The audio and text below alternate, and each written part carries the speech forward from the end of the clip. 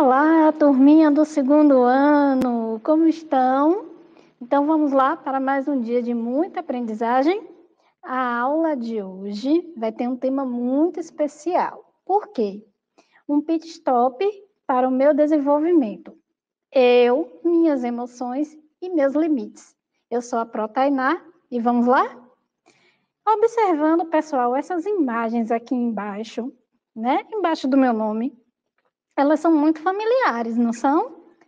São os emojis lá que nós utilizamos no, no aplicativo WhatsApp. Só que quando nós utilizamos os emojis, nós não utilizamos só para colocar um desenho no texto, não é verdade? Esses emojis, cada um tem um significado diferente, mas todos eles servem, né, têm a função de representar as nossas emoções. Então, é muito comum que, por exemplo, quando a gente recebe uma notícia que deixa a gente muito feliz, a gente coloca um emoji sorrindo. Se foi algo que entristeceu, a gente coloca lá o emoji chorando e por aí vai, não é verdade? Então, os emojis lá do aplicativo WhatsApp, eles têm a função de mostrar o nosso sentimento diante daquela mensagem que nós recebemos. Hoje, nós vamos falar sobre isso, sobre as nossas emoções, como é que nós nos comportamos é, diante das diversas situações e como é que nós podemos fazer para controlar, né, ou tentar controlar nossas emoções para ter uma convivência com a, melhor com as outras pessoas e também para que a gente possa se sentir bem, né, com nós mesmos. Vamos lá? Para começar, nós vamos ler uma historinha que chama Cospe Fogo, o Dragão. Essa historinha foi escrita, né, por Luciene Tonheta e as ilustrações são de Paulo Macerani. Vamos lá? Observando a capa desse livro, o que será que vai acontecer nessa história, hein? O que será que Cospe Fogo vai fazer aí? Por que será que ele tem esse nome? Hum? Vamos lá?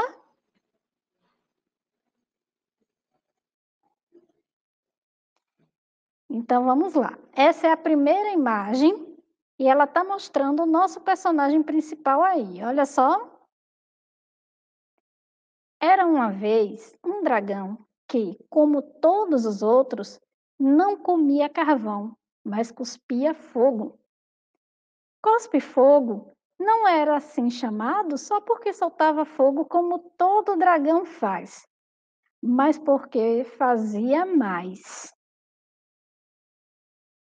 Olha só o que fizeram nessa imagem com cospe fogo. Por que será que jogaram água aí no, no nosso personagem? Vamos ver?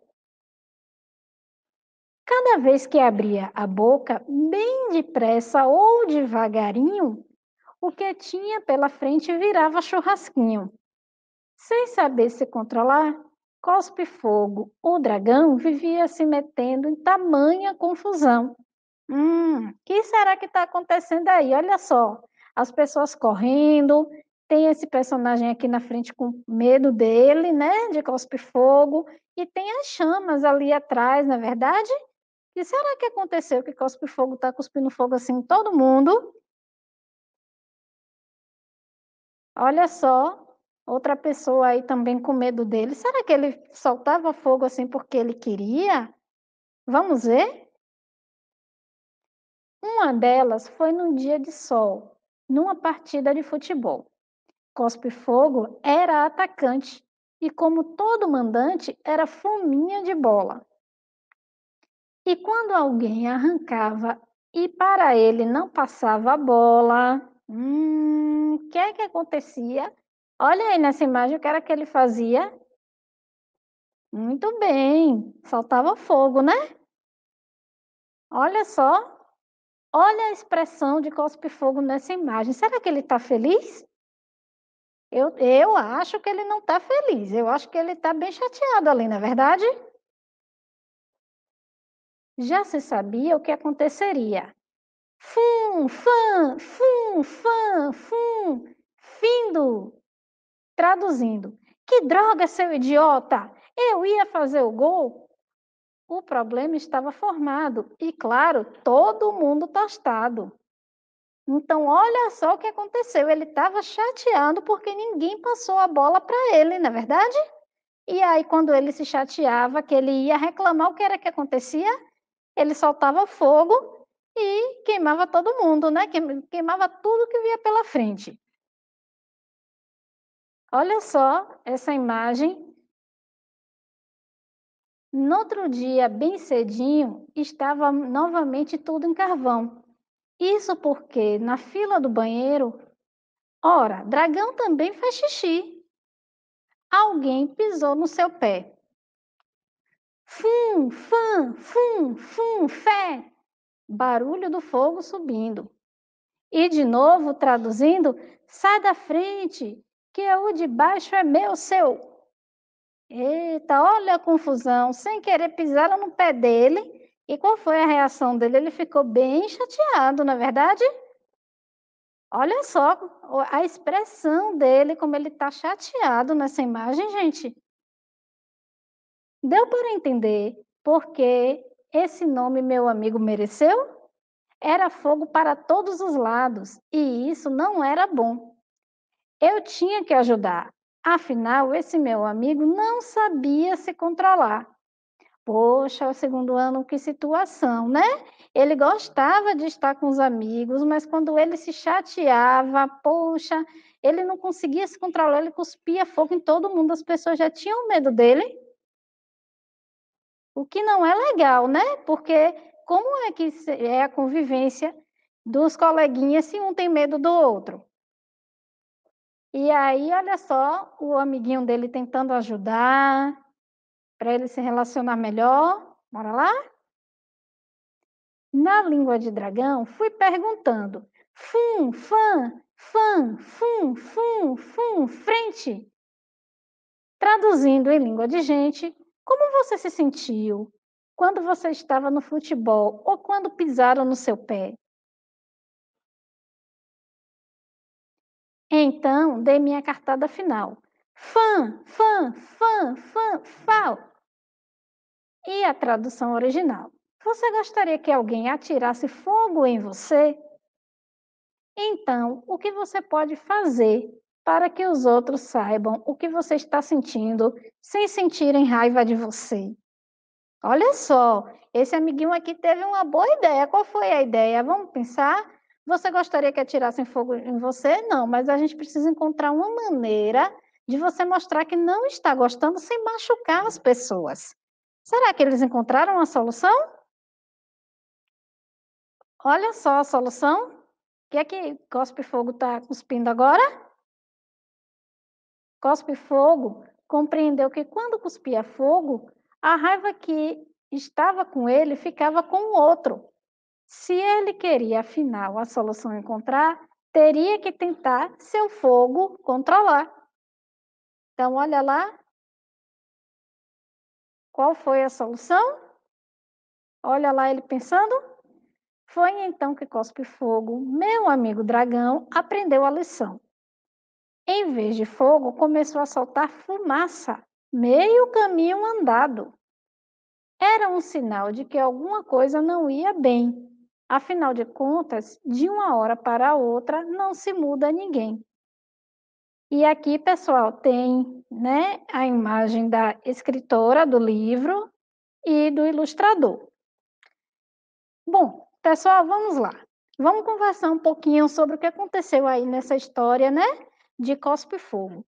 Então, essa história vem falando de um dragão que quando ele era contrariado, ele ficava muito chateado só que ele não conseguia falar isso sem machucar as pessoas, porque toda vez que ele ia, ele ia falar, ele soltava fogo queimava tudo que ele via pela frente, né? Inclusive os amiguinhos dele.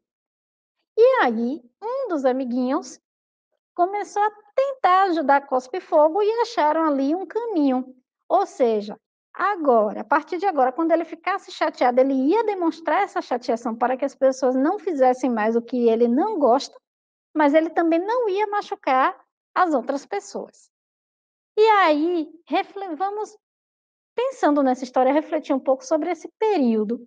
né, que nós ficamos separados, o ano de 2020 e também esse início, né, de 2021, esse primeiro semestre, que nós tivemos aulas, né, remotas, cada um na sua casa. E aí vamos pensar um pouquinho como foi que você se sentiu nesse período que ficou em casa? Você ficou triste? Você ficou ansioso? Você ficou feliz? É, sabemos que foi um período bem difícil, foi um período atípico, na verdade ainda continua sendo, né? Porque a pandemia ainda não acabou. Mas logo no início, eu acredito que tenha sido até mais difícil porque nós não estávamos acostumados, né, a ficar em casa, a não não ir para a escola, a não poder ir para a casa do coleguinha para brincar. Então, como é que você se sentiu nesse período? Eu mesma eu fiquei muito triste, eu fiquei ansiosa, para mim foi difícil, é, eu fiquei sem ver, poder ver alguns parentes, só falando por telefone, parentes que moram fora, né? Eu tive, infelizmente, parentes que se contaminaram, então eu fiquei nervosa, eu fiquei preocupada. E vocês? Vocês também passaram por essas situações? Vocês ficaram nervosos, preocupados, ansiosos, querendo que acabasse logo esse período de pandemia? Quando você se sentia triste, com medo ou com raiva, o que fazia para controlar esses sentimentos? O que é que vocês faziam? Vocês usavam alguma estratégia? Porque lá no texto, Cospe Fogo aprendeu a usar uma estratégia, né? Quando ele estava com raiva, ao invés de soltar fogo, ele começou a soltar fumaça. Então, quando os amiguinhos viam que ele estava soltando fumaça, era sinal que algo não estava bem, era hora de parar e tentar entender o que era que estava acontecendo ali, não é verdade? E você, que estratégia é que você utiliza? Como é que você faz quando você está triste? Eu mesma, quando eu estou triste, o que é que eu faço? eu fico um pouquinho sozinha para pensar um pouco, eu tento assistir um filme, eu tento ler alguma coisa, eu vou fazer alguma coisa para tentar esfriar um pouco, para não sair também discutindo enquanto eu estou chateada. Porque quando nós discutimos, quando nós estamos chateados, a tendência é que a gente acabe machucando as outras pessoas, que era o que acontecia lá com o nosso personagem, não é verdade? Que outras maneiras existem para resolver os problemas quando dá vontade de soltar fogo como o dragão? Pessoal, na história, Cospe, é, Cospe Fogo Dragão, ele solta fogo, né? Quando ele está chateado. Na vida real aqui, nós não vamos soltar fogo, mesmo propriamente dito, porque nós não somos um dragão, nós não soltamos fogo. Mas a gente pode pensar o quê? Que quando nós estamos muito chateados, a nossa tendência é querer o quê? Brigar, gritar. E aí eu pergunto: existem outras maneiras de resolver o problema sem precisar a gente gritar, brigar com as pessoas? Vocês acham o quê? Eu acho que sim, que existem. Só que depende da gente parar para pensar, né? Como é que nós vamos fazer isso? Então, esfriar, aguardar um pouquinho, e aí sim, quando já tiver passado mais a raiva, nós vamos pensar em uma maneira de resolver esse problema, sentar e conversar, não é verdade? Quais estratégias o dragão utilizou para lidar com os sentimentos, resolver os seus problemas e não machucar os amigos? Olha lá. Ele aprendeu a quê, pessoal? Ele aprendeu que ao invés de soltar fogo, ele iria soltar fumaça, porque a fumaça não machuca, era um sinal, né, que ele é, estava já chateado, que ele não queria continuar com aquilo ali, os amiguinhos iam entender, e aí ia parar, sentar e conversar, não é verdade? Nós também podemos utilizar algumas estratégias, é, né? Como já foi dito, nós podemos parar, pensar, não brigar, esfriar um pouco a cabeça, tá chateado agora, não conversa agora, para um pouquinho, descansa, e aí depois a gente pensa no que é que vai fazer. E aí eu trouxe para vocês entenderem nossas emoções e sentimentos. Vamos lá? Eu trouxe algumas, apesar de existirem outras, tá, pessoal? Então, uma das, das nossas, dos nossos sentimentos, das nossas emoções ali é a ansiedade. O que é isso? A ansiedade é como se fosse uma preocupação, é quando nós estamos muito preocupados com algo. Então, essa preocupação pode acontecer com qualquer pessoa, com adulto, com criança. Por exemplo, é muito comum nós ficarmos preocupados ou ansiosos quando vamos fazer uma avaliação. E muitas vezes o que, é que pode acontecer? Nós estudamos muito, sabemos que estamos preparados, mas porque estamos ansiosos ou preocupados, acaba que a gente até esquece né, o que a gente estudou e a gente não consegue ter um bom rendimento lá na nossa avaliação. Um outro sentimento ali é a raiva, que era o sentimento lá de cospe-fogo, né? lá no texto. Então, a raiva é aquele sentimento quando você está muito chateado. Quando você está muito chateado, nós dizemos que você está com raiva, que nós estamos com raiva. É quando, inclusive, nós queremos até devolver, por exemplo, uma, um conflito que teve é, entre você e um coleguinha, ou entre os coleguinhas, que um coleguinha fez uma coisa que o outro não gostou, e aí ele quer devolver. É do mesmo jeito. Por exemplo, se tivesse um outro dragão ali na história de Cospe Fogo, ele poderia inclusive cuspir fogo lá no nosso personagem, porque ele ia estar com muita raiva. Então, a raiva, né, que é esse sentimento quando nós ficamos muito chateados e queremos devolver o que aquela pessoa fez. Um outro sentimento é a alegria. O que é a alegria? É quando nós ficamos muito felizes. Aconteceu uma coisa muito boa e eu estou muito feliz. Então, um exemplo pro, eu me preparei muito para uma avaliação e olha só que legal, eu tirei 10. Então, nós ficamos muito felizes, porque nós já vimos, né, que todo o nosso esforço valeu a pena. Eu estudei e eu tirei 10. Um outro sentimento aqui é a tristeza. E o que é a tristeza? É quando nós sentimos que, poxa, a gente fez de tudo, mas não conseguiu. E aí a gente não consegue compreender que não tem mais nada, né, que se possa fazer naquele momento. Por exemplo, nós estudamos, mas nós não conseguimos tirar o 10 na avaliação. Nesse momento, eu não posso fazer mais nada porque a avaliação já foi feita e corrigida. Mas o que, que eu posso fazer para que eu não fique triste? Eu posso estudar mais para outra avaliação e melhorar o meu rendimento, não é verdade? E um outro sentimento, olha só, o medo é quando algo nos assusta. Existem vários tipos de medo. Você pode ter medo de um animal, você pode ter medo de uma situação, você pode ter medo de, de uma pessoa.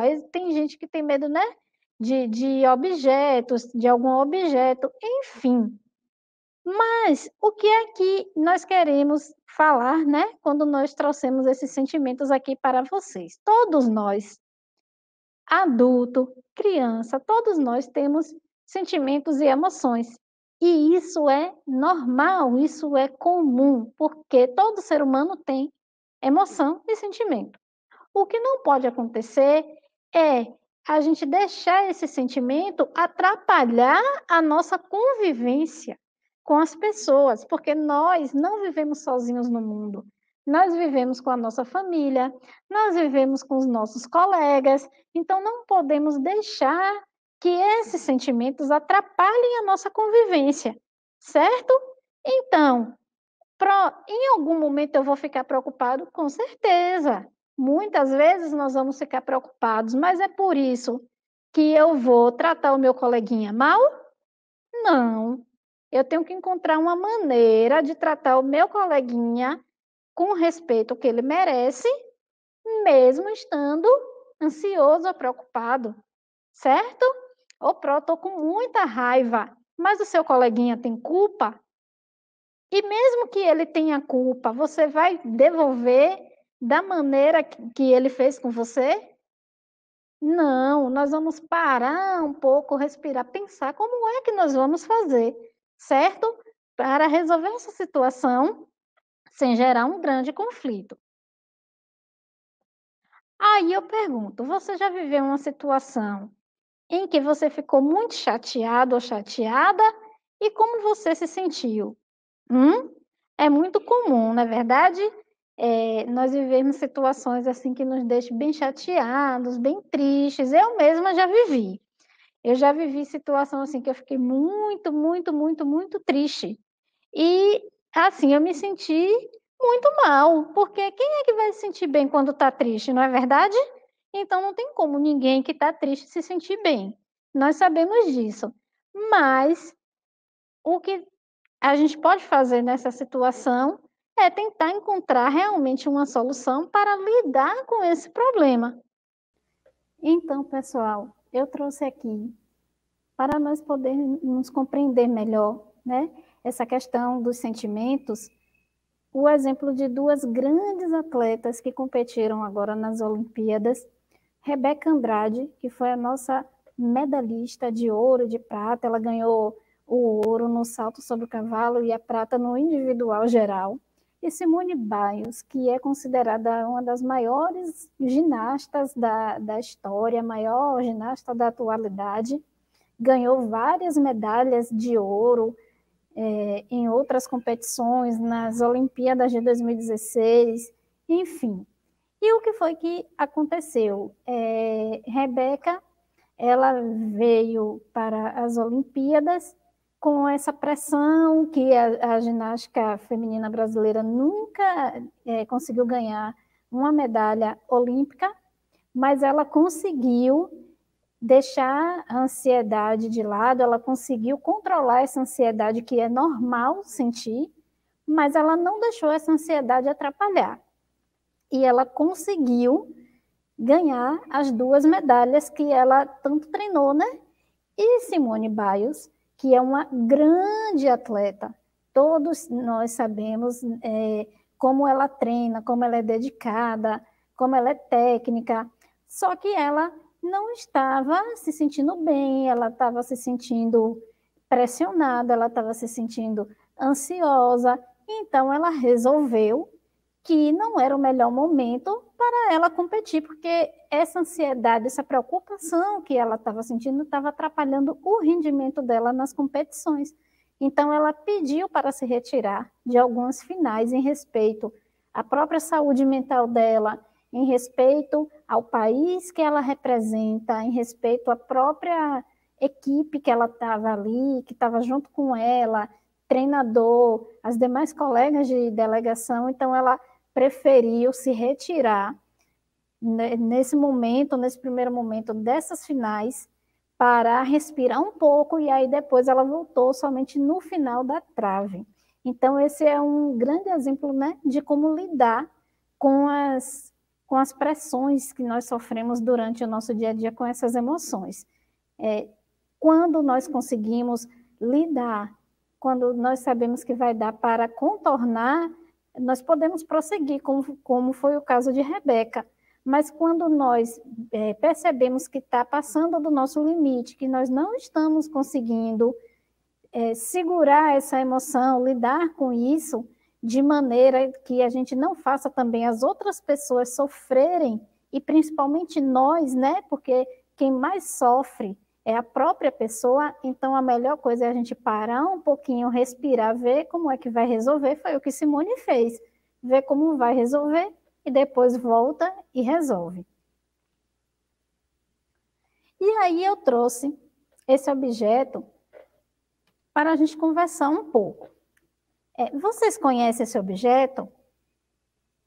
Eu acho que todos nós conhecemos, né? É, esse objeto é um controle remoto o controle remoto é um aparelho, como o, nome, o próprio nome já diz, ele controla aparelhos eletrônicos sem que você precise ficar levantando do seu lugar para ir mexer lá no aparelho. Então, da onde você estiver, você aponta e escolhe o que é que você quer fazer ali naquele aparelho.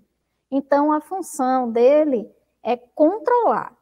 E aí a pergunta: o que é que é um controle remoto? Pode controlar? E o que é que ele não pode controlar. Então, o controle remoto, como já foi dito, ele controla aparelhos eletrônicos. Então, nós podemos controlar uma televisão, um aparelho de som, um ar-condicionado. Nós podemos controlar com controle remoto. Mas e as nossas emoções? Será que nós podemos controlar as nossas emoções com controle remoto? É possível, é, quando nós estamos muito nervosos, muito agitados, muito tristes, a gente apertar lá no botão de desliga para aquela situação passar, porque quando nós estamos, por exemplo, assistindo televisão, que nós vemos alguma coisa que nós não gostamos, que, que nos deixa né, agitados, ansiosos, nós vamos lá, desligamos, mudamos o canal. E quando é uma situação fora do aparelho, quando é uma situação que nós estamos vivendo, é possível? Será que é possível fazer isso, desligar com controle remoto? Infelizmente, não é possível. Mas nós podemos fazer esse exercício de nos desligarmos, tentar se desligar o máximo possível desse problema. Então, por exemplo, se estamos ali na escola e de repente pode, pode acontecer uma situação né, de conflito, de se desentender com um coleguinha, o que, é que a gente pode fazer? Se distanciar daquele conflito, a gente pode pedir ajuda a um adulto. Se não está conseguindo resolver sozinho, a gente pode pedir ajuda ao professor. O que a gente não pode fazer é o quê? Entrar naquele problema para machucar o nosso colega, certo? Então, o que é que nós podemos controlar com controle remoto? Retomando, os aparelhos eletrônicos, não é verdade? Eles nós podemos controlar. E o que não podemos controlar com ele? Os nossos sentimentos. Não é possível controlar os nossos sentimentos com controle remoto. E aí, eu trouxe aqui alguns exemplos de situações controláveis e incontroláveis. O que é controlável? Controlável é o que nós conseguimos controlar. Incontroláveis é o que nós não conseguimos controlar. Vão acontecer, nós vamos ter que saber lidar com essas situações, mas nós não temos controle sobre elas. Tudo que aparecer dentro do círculo laranja é o que nós conseguimos controlar. O que aparecer fora do círculo, nessa parte branca, é o que nós não conseguimos controlar. Então, vamos lá? Olha só. Respeitar o próximo. Nós conseguimos controlar o Sim, porque respeitar o próximo é uma escolha. Eu escolho ser uma pessoa que respeita o meu próximo. Então, eu controlo isso, certo? Realizar as atividades. Conseguimos controlar, Pro? Sim, conseguimos controlar. Eu escolho que eu vou realizar as minhas atividades. Então, eu consigo controlar essa situação também comer verduras e legumes. Nós conseguimos controlar PRO? Sim, porque a verdurinha, os legumes vão estar ali no prato e nós escolhemos, na é verdade, se vamos comer ou não. Eu sei que tem gente que não gosta, né, de verduras e legumes, e isso também é uma escolha da pessoa. Ela não gosta, então ela não vai comer. Mas é uma escolha, é uma situação que nós podemos controlar, se vamos comer ou não. E, inclusive, podemos controlar se queremos comer naquele momento. Eu gosto, mas nesse momento eu não quero comer. Não é verdade? Agora aqui, olha a situação que nós não podemos controlar: ficar doente. Nós podemos escolher quando vamos ficar doentes ou não? Não podemos, infelizmente, não é verdade? Muitas vezes já aconteceu assim, né? Da gente estar tá com uma viagem, marcada uma viagem bem legal, para ir para praia, para ir para casa da vovó, e aí de repente o que é que acontece? A gente fica gripado, sente uma dor de barriga, fica enjoado, então isso é normal de acontecer. E nós não vamos sofrer com isso porque são situações que nós não podemos controlar. Se não dá para ir na casa da vovó nesse momento porque está doente, se recupera e depois vai, certo? Outra situação, não receber críticas. Nós podemos escolher, eu não vou receber críticas? Infelizmente, não. Por quê? porque nós vivemos com outras pessoas.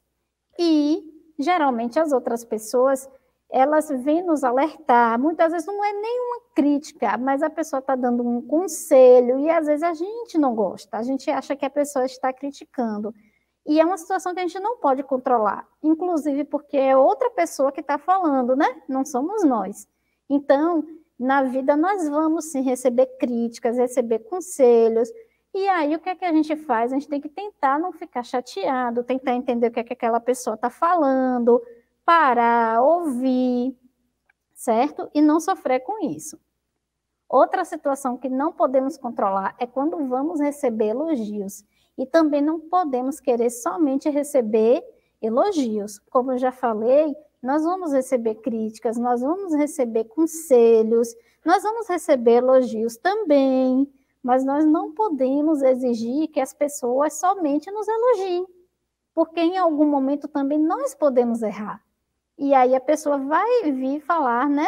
Olha, Fulano, Maria, João, Pedro, Tainá, você errou aqui, vamos tentar consertar, certo? Como também a pessoa, você pode fazer uma coisa certa e a pessoa te elogiar. Poxa, parabéns, Tainá, você acertou foi ótimo, o que você fez, fez certinho, certo? Mas nós não controlamos, até porque essa ação não é uma ação nossa, é uma ação de outra pessoa. E tirar nota boa. Nós não podemos controlar. Por quê, Pro? Isso aqui é uma situação que a gente tem que discutir mesmo. Mas, Pro, mas eu estudo tanto. Estuda, mas podem acontecer situações que mesmo um aluno estudando, ele não tire nota boa, porque de repente ele estudou muito, se preparou muito, mas ele ficou ansioso, ele ficou com medo de na avaliação ali não cair tudo que ele estudou, não cair o que ele estudou, e tudo isso atrapalha o rendimento do aluno, que foi o caso lá da nossa atleta. Lembra Simone Biles? Ela treinou bastante, ela se preparou muito, mas ela ficou receosa, ela ficou ansiosa, preocupada, e aí isso acabou atrapalhando o rendimento dela. Isso significa que se tirar uma nota baixa, que é um aluno ruim, não, não é que seja um aluno ruim, mas aconteceu alguma coisa ali no meio do caminho que deixou aquele aluno preocupado, nervoso, e que por conta disso ele acabou não conseguindo tirar a nota que esperava. Certo? Aí eu trouxe essa imagem aqui, que é de um jogador muito famoso aqui no Brasil, que é Neymar, que eu tenho certeza que todos conhecem Neymar, com essa pergunta: um jogador, ele vai fazer gol sempre que quer? Será que quando Neymar entra no campo, se ele entrar dois dias, hoje e amanhã, hoje ele fez gol, amanhã ele não faz, será que o dia que ele não faz gol é porque ele não quis fazer? Será que foi porque ele não treinou? Será que ele só quis fazer gol no dia que ele fez? Não. O jogador não faz gols todo dia, sempre que ele quer. Ele se prepara, ele treina, mas podem acontecer situações que ele não consiga fazer o gol. Então, ele pode muitas vezes estar muito próximo do, do gol, mas o colega dele de time não conseguir tocar a bola para ele ele pode muitas vezes até pegar, né, tá com a bola, mas não conseguir acertar o gol. Ele pode sentir alguma coisa e nem entrar em campo.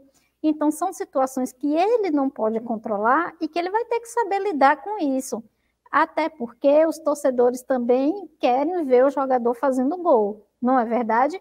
E aí ele tem que saber lidar, compreender que nem todo dia, quando ele entrar, em campo ele vai conseguir fazer gol, mas que ele também pode colaborar para que outros jogadores façam gol. Ele pode não fazer gol, mas ele passar a bola para outro jogador que faça o gol. E aí o time vai ganhar de qualquer maneira, porque é um time só, não é verdade?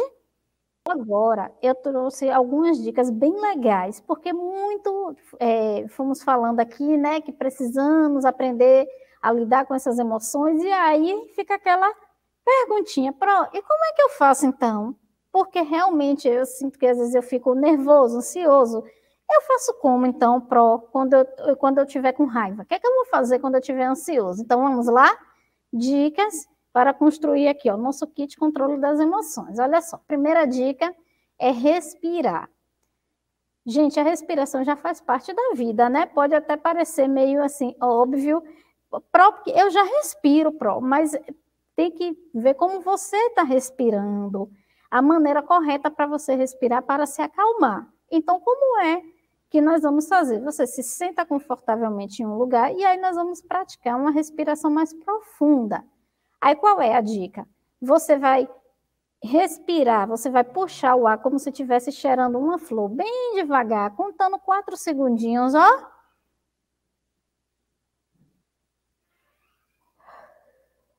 E sopra como se você estivesse enchendo um balão. Vamos lá de novo, ó.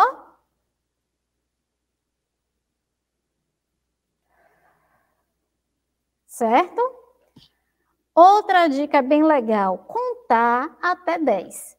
Essa dica é muito boa. Você pode se afastar do problema, da situação ali de conflito, e aí você respira, conta até 10. 10 segundos é o tempo que seu cérebro vai entender que você se afastou daquele problema que você se acalmou. Olha lá, outra dica bem legal, ouvir uma música que você goste, certo? Você pode sair um pouquinho, colocar uma música, e aí quando você se acalmar, você volta para tentar é, ver como é que você vai resolver aquele problema. Outra dica bem legal é escrever. Uma dica que eu dou é que vocês escrevam também o diário. Você pode escrever o que você está sentindo. Você pode pegar um caderno e escrever. Por que, que você está nervoso? O que foi que te deixou nervoso? É isso que nós chamamos de diário, né? E aí você escreve e deixa registrado ali. E o tempo que você está ali gastando a energia escrevendo, seu cérebro entende que você está se acalmando. Outra dica, ó, praticar é, alongamento, fazer alongamento, algum, algum exercício, certo? Ali tem umas, umas imagens de alongamento bem legais, que são bem simples, que vocês podem fazer, tá bom? E uma outra dica é ler, certo? Você pode procurar um cantinho é, mais silencioso, onde você possa ficar mais à vontade e ler um pouquinho, tá? Pessoal, foi um prazer estar aqui com vocês. Desejo que essa aula tenha contribuído para a aprendizagem de vocês, que vocês consigam é, colocar em prática tudo que foi dito aqui e já sabe que qualquer dúvida estamos à disposição, certo? Beijos, até a próxima aula.